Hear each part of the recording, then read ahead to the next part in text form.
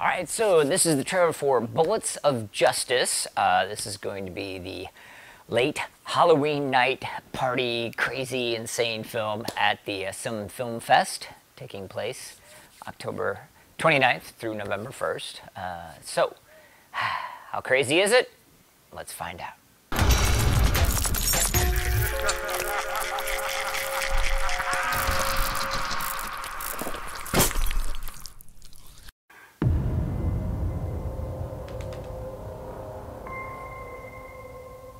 Nice. It was during the Third World War. There wasn't much left. No one knew who created the first muzzle. A hybrid between human and pig. What? We became their favorite meal. nice. They killed my father. Danny Trejo.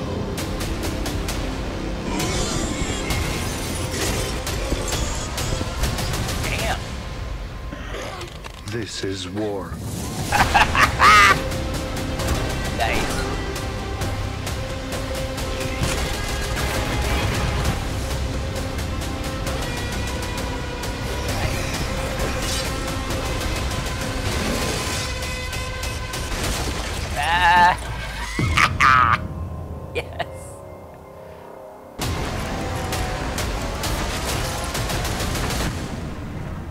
Beautiful. Oh. Uh, okay, let's see. Uh, Danny Trejo, I'm there. Half man, half pig, pig hybrids. I'm so there. uh, and uh, obviously, it, it's it's got the cheese coming out of everywhere, and they they do it properly. You know, they take it seriously, but they know that it's being ridiculous. I mean, that jumping out of the the second story landing in the seat of the car. um, oh, yeah, I think uh, I think uh, this is a wise choice. I think that this could be this could be epic. This could be really something.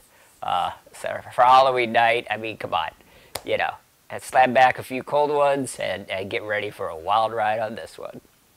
All right, so what did you guys think? Uh, yes, it is not your textbook, you know, horror film of, uh, you know, supernatural or slashers, but that's the beauty of horror. It can be quite a range. I mean, what's more terrifying than a half pig, half human hybrid?